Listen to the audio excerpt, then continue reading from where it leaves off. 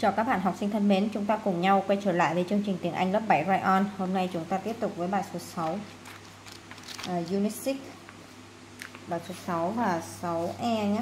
6E phần ngữ pháp. Phần ngữ pháp. À, Trong bài này các bạn sẽ được học về những cái từ nối, những cái liên từ những cái liên từ. À, Chúng ta có liên từ à, uh, and, or, but nha, Chú ý and là và nha, and là và à, o là gì? O là hoặc bớt là nhưng. À, chúng ta sử dụng and để thêm thông tin vào hoặc là nối hai cái ý à, tương đồng với nhau. Ví dụ như là big city à, những thành phố lớn are crowded and they are noisy. Những thành phố lớn thì sao? À, thì rất là đông đúc và ồn ào nữa. Nha và ồn ào nữa người ta nối ở đây. Chúng ta sử dụng o để mà đưa ra một cái sự thay thế à, hoặc o dịch là hoặc hay hoặc yeah. you can walk to the park bạn có thể đi bộ tới công viên.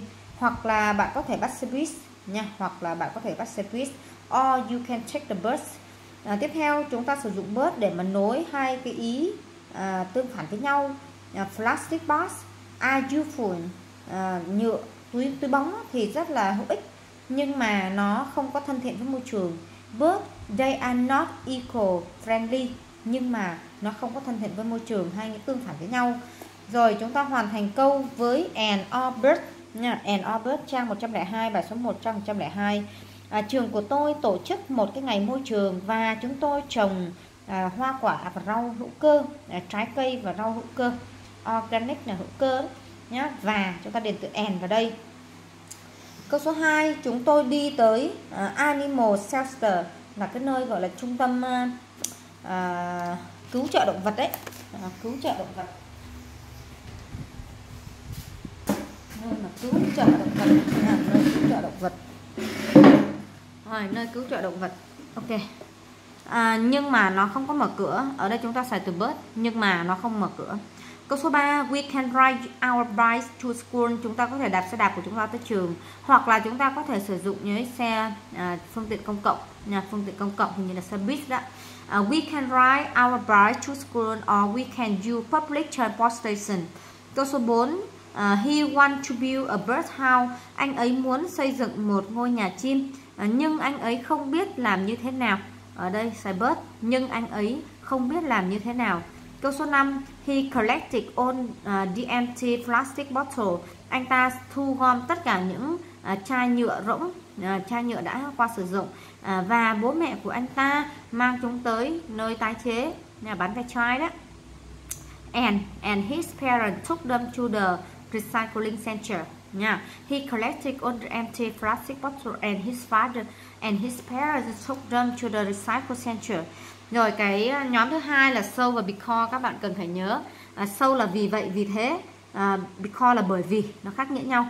À, so là vì vậy vì thế. Nó diễn tả cái kết quả đó, diễn tả kết quả. À, và nó có dấu phẩy nhá nó có dấu phẩy.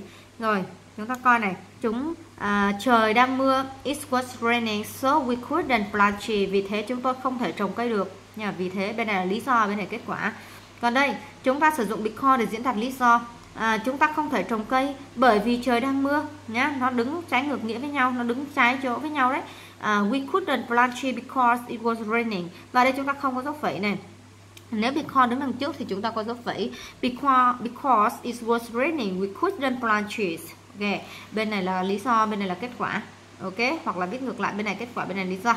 Ok rồi chúng ta coi. À, viết câu. À, viết câu viết lại câu. À, sử dụng cái từ trong ngoặc. Bây giờ chúng ta có này.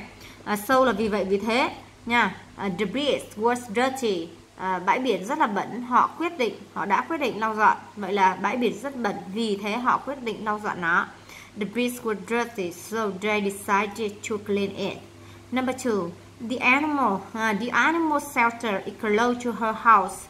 Uh, nơi uh, cứu trợ động vật thì gần nhà cô ấy vì thế là cô ấy đi bộ tới đó. Vì thế chúng ta bỏ giữa uh, bỏ dấu phẩy và thêm sâu vào.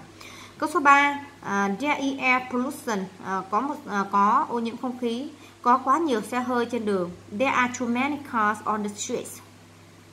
Và chúng ta để bởi vì vào giữa. Uh, there is air pollution because there are too many cars on the streets câu số 4 uh, ờ, there are too many and endangered animals có rất nhiều động vật đang bị uh, đang bị đe dọa. Có nguy cơ tuyệt chủng đấy. We need to create national park. Chúng ta cần tạo ra công viên quốc gia. Và chúng ta xài sâu nha.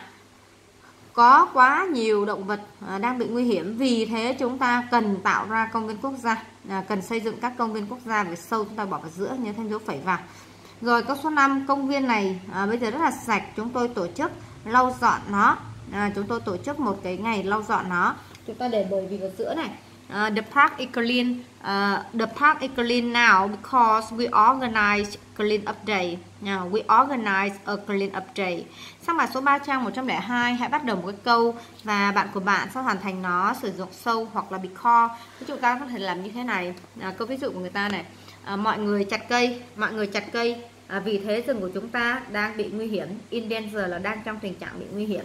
À, chúng ta có thể viết như thế này. À, mọi người à, đạp à, mọi người chạy xe máy và lái ô tô nhiều. À, vì thế không khí bị ô nhiễm. Rồi trời bây giờ trời quá nóng. It's, it's too hot. It's so hot.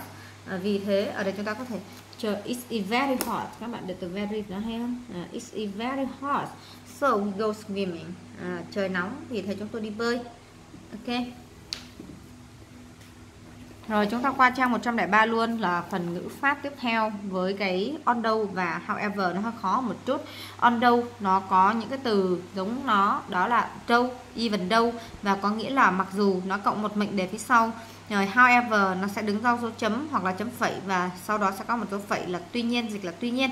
However tuy nhiên là chúng ta sử dụng đâu, uh, on đâu, đâu, even đâu đó Ờ, và however để diễn tả sự tương phản trái nghĩa. Ok chúng ta sử dụng although để kết để nối hai câu trong một câu. À, mặc dù anh ta quá